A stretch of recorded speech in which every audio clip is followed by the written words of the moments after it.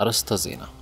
በትግራይ ክልል አገልግሎቶች ዳግም እየጀመሩ መሆኑን የጠቅላይ ሚኒስትሩ የብሔራዊ ደህንነት አማካሪና የሰላም አማራጭ አብይ ኮሚቴ አባል አምባሳደር ሬድዋን ሁሴን ገለጹ። ሀገራዊ ምክክር ኮሚሽን ስራውን ውስብስብ ቢሆንም ሁሉን አካታች በሆነ መልኩ እንሰራለን ሲሉ ፕሮፌሰር መስፍን አርአያ ተናገሩ። ቻይና የጠላት ድሮኖችን ከሩቅ መለየትና ማውደም የሚችል አዲስ የጸረ ድሮን ቴክኖሎጂ ከሰሞኑ ይፋ አድርጋለች። ሰላም ጤና ይስጥልን፣ እንደምናላችሁ። ከኢትዮጵያ ሪፖርተር የሰዓቱ ዜና ተጀምሯል። አንዋር አባቢ ነኝ፣ አብራችሁን ቆዩ።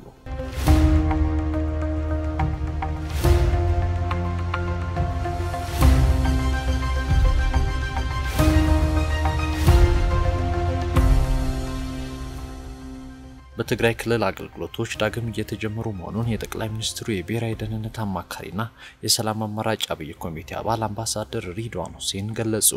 በክልሉ ሰባ በመቶ በሚሆኑ አካባቢዎች እርዳታው ከመቼውም ጊዜ በላይ እየደረሰ መሆኑን ጠቁመዋል። እርዳታውን በሌሎች ቀሪ አካባቢዎችም ለማዳረስ በ35 ተሽከርካሪዎች ምግብና በሶስት ተሽከርካሪዎች መድኃኒት ተጭኖ ሽሬ ገብቷል ብለዋል። ወደ ክልሉ በረራ መፈቀዱን የገለጹት አምባሳደር ሬድዋን ሁሴን የሰብአዊ እርዳታን በተመለከተ ከተመለከተ ምንም አይነት መሰናክል አይፈጥርምም ብለዋል። አንዳንድ አካላት የአፍሪካውያን እውቀት በቱሪተሪያን ባመጣው ስኬት ደስተኛ እንዳልሆኑ ጠቁመው ይህንን መልካም መንፈስ ለማወክ ሲጥሩ ይታያሉም ሲሉ ገልጸዋል። ሀገራዊ ምክክር ኮሚሽን ስራውን ውስብስብ ቢሆንም ሁሉን አካታች በሆነ መልኩ እንሰራለን ሲሉ ፕሮፌሰር መስፍን አርአያ ተናገሩ። የኢትዮጵያ ሀገራዊ ምክክር ኮሚሽን ሰብሳቢ ፕሮፌሰር መስፍን አርአያ የኢትዮጵያ ሀገራዊ ምክክር ኮሚሽን ስራውን ውስብስብ ቢሆንም ሁሉን አካታች በሆነ መልኩ ስራችንን ለመከወን ተዘጋጅተናል ነው ያሉት። ፕሮፌሰር መስፍን አርአያ ይህንን የተናገሩት የኢትዮጵያ ሀገራዊ ምክክር ኮሚሽን እና የኢትዮጵያ ሲቪል ማህበራት ድርጅቶች ምክር ቤት በጋራ ለመስራት ተስማምተው በተፈራረሙበት መድረክ ላይ ነው። የኢትዮጵያ ሀገራዊ ምክክር ኮሚሽን ሰብሳቢ ፕሮፌሰር መስፍን አርአያ የኢትዮጵያ ሀገራዊ ምክክር ኮሚሽን ስራውን ውስብስብ ቢሆንም ከሲቪል ማህበራት ድርጅቶች ምክር ቤት ጋር ያደረገው ጥምረት ሁሉን አካታች በሆነ መልኩ ስራችንን ለመከወን ድጋፍ የሚሰጠን ሲሆን ሀገራዊ ምክክር ሂደቱ ስኬታማ ለማድረግ ይረዳናልም ብለዋል። ሁለቱ ወገኖች በትብብር ከሚያከናውኗቸው ተግባራት መካከል ስልጠናና የመረጃ ልውውጥ፣ ስብሰባዎችን ማመቻቸት፣ ሴናሪዎችን ማዘጋጀት እንዲሁም በትብብር ማዕቀፍ ስምምነቱ ላይ ተፈጻሚ ሊሆኑ በሚችሉ መመሪያዎችና ደንቦች መሰረት የሚሰሩ ስራዎችን ማከናወን ይጠቀሳሉ። ጥቁር አንበሳ ሆስፒታል አገልግሎቱን የሚመጥን ትኩረት አላገኘም ተባለም።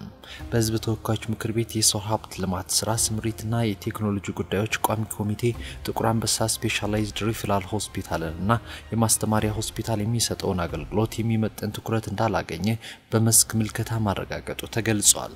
ይህ የተገለጸው የቋሚ ኮሚቴው አባላት ሰሞኑን በአዲስ አበባ ዩኒቨርሲቲ ስር የሚገኙ የተለያዩ ኮሌጆችንና ተቋማትን የስራ እንቅስቃሴ በመስክ ምልከታ እየገመገሙ ባሉበት ወቅት ነው።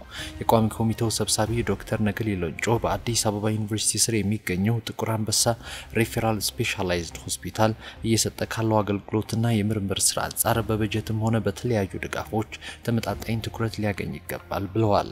የአዲስ አበባ ዩኒቨርሲቲ ጤና ሳይንስ ኮሌጅ ዋና ስራ አስፈጻሚ ዶክተር አንዱ አለም ደነቀ ከቋሚ ኮሚቴው በጋራ በነበራቸው ቆይታ ሆስፒታሉ በአመት 500 ሺህ ተመላላሾችንና 20 ሺህ ተኝቶ የሚታከሙ ህሙማንን እያገለገለ መሆኑን ጠቁመው ባለው የበጀት እጥረትና የቦታ ጥበት መቸገራቸውን አስረድተዋል።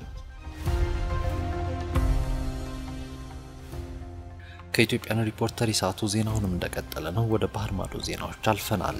ቻይና የጠላት ድሮኖችን ከሩቅ መለየትና ማውደም የሚችል አዲስ የጸረ ድሮን ቴክኖሎጂ ከሰሞኑ ይፋ አድርጋለች። የ2022 የቻይና የአየር ትርኢት ቻይና ኤር ሾው በደቡባዊ የሀገሪቱ ከተማ ዡሃይ መካሄድ ላይ ሲሆን የተለያዩ አዳዲስ የጦር ቴክኖሎጂዎችን በማስተዋወቅ ላይ ትገኛለች። ቻይና በዚህ የአየር ትርኢት ላይ ካቀረበችው አዳዲስ የጦር ቴክኖሎጂ ውስጥም የድሮን መግደያ የተባለው የጸረ ድሮን መሳሪያ እንደሚገኝም ተነግሯል።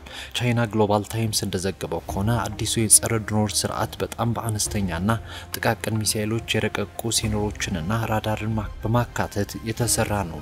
በቻይና የኤሮስፔስ ሳይንስና ኢንዱስትሪ ኮርፖሬሽን የሰራው አዲሱ ቴክኖሎጂ በአንድ ሰከንድ ውስጥ ከ500 ሜትር እስከ 18 ኪሎ ሜትር ርቀት ውስጥ የሚገኙ 20 የጠላት ኢላማዎችን መለየትና ማጥቃት የሚችል ነው።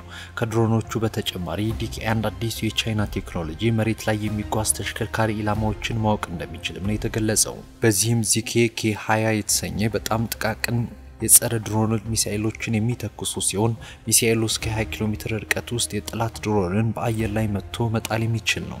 በቻይና ደቡባዊ ግዛት ዡሃይ ከተማ በመካሄድ ላይ በሚገኘው የቻይና ኤር ሾው የተለያዩ አዳዲስ የጦር መሳሪያዎችንና አውሮፕላኖችን መቅረባቸው ተነግሯል። ከነዚህ ውስጥ የቻይና ጦር የታጠቀው ጄ20 ስውር ተዋጊ ጀቶች ዡሃይ ሰማይ ላይ መታየታቸውን የታዳሚዎች ቀልብ መሳብ ችለዋል። ከኢትዮጵያን ሪፖርተር የሰዓቱ ዜና የተከታተላችሁትን ይመስል ነበር። አባቢ ነበርኩ። መልካም ጊዜ